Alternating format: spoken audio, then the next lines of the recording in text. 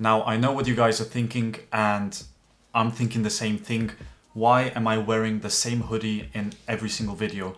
And the answer to that is that this is my recording hoodie now. I only wear it when I'm recording. But now that we've gone ahead and gotten that out of the way, we can actually talk about something even more serious. And this has to do with optimizing code in Python. And I thought it would be a good subject to talk about because a majority of the time when I'm looking at Stack Overflow answers and reading comments in videos on YouTube, I see a lot of people pointing out that you should not even bother with optimizing code in Python. You should rather use a language such as Java or C++ or something that is much faster because it's useless to do this kind of thing in Python. And I have really big mixed feelings about that statement. I mean, a lot of us learn that, I forgot where that quote actually came from, so I'm gonna have to do a quick search.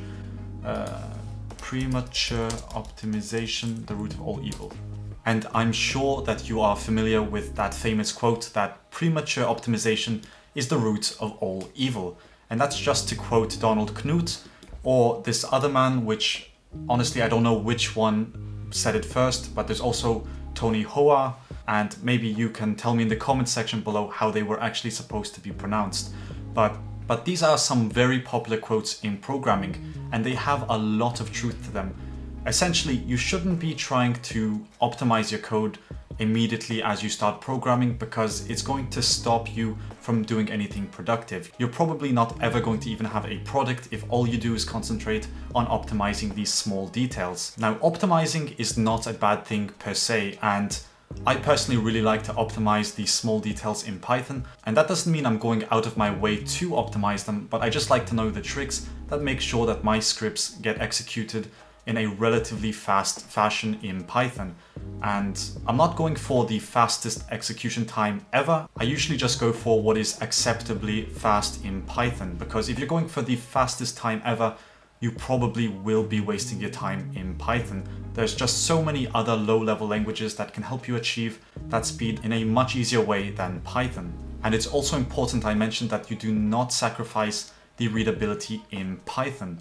The whole purpose of us downloading Python was for its simplicity and its interoperability with many platforms. I mean, the Python language was built around legibility and simplicity. If you really want to optimize Python and you end up making it unreadable, you might as well go for a language like C because I mean if it's going to be unreadable anyway, you're using Python for the wrong reasons. But moving on to the argument that you shouldn't try to optimize Python code at all. And I really hate reading comments online that say you shouldn't be using Python if you want to optimize your code.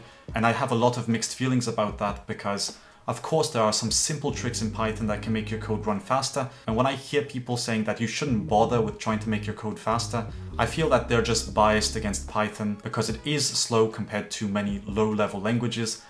And Python receives a lot of hate for that, and a lot of people don't even consider it a real language. But personally, I think there's plenty of room for optimization in Python, and I'm not talking about maximizing the speed of printing hello world, I'm talking about some simple optimizations that we can easily miss when we're creating our programs, such as using list comprehensions instead of the for loop to create some very fast lists and so on. There's plenty of small optimizations to be made in Python here and there, and sometimes saving half a second can really change the outcome of your app. For example, if you create an implementation that saves one second, now, if you have to run that implementation or you have to run your app more than a million times a day, which might be quite unlikely, so let's go ahead and say if you need to run it even 10 times per day, you're saving 10 seconds per day using your same script, which if you have to do it over the course of a year, you're saving a lot of time there.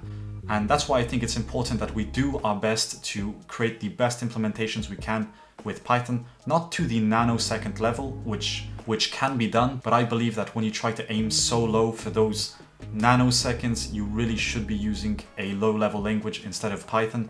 But if you want to optimize some functions and save a couple seconds, I think that makes sense. I honestly think it's a great idea if you can optimize a function that takes one second in Python and make it go down to half a second. I think that half a second is definitely worth it. But again, this really depends on what kind of script you're writing. If you're going to run it only once a day, optimizing it probably doesn't make sense because you're going to click on it, you're going to wait a couple seconds, and it's going to give you a result. But if you have to run this script many times per day, the optimization is definitely going to be worth it because you're not going to have to waste all those seconds. And it really depends on you and how many times you need to run the script. But all I want to say is that optimizing in Python is not always a bad thing. So you always need to consider whether something's worth optimizing or not. But as a common rule, don't do it until after you've completed your app. I mean, if your app is running too slow, definitely optimize it, but if you don't even have an app, there's no point in optimizing something that doesn't exist yet. So maybe leave a note next to the function saying this is not the best implementation, and then you can go back and optimize it.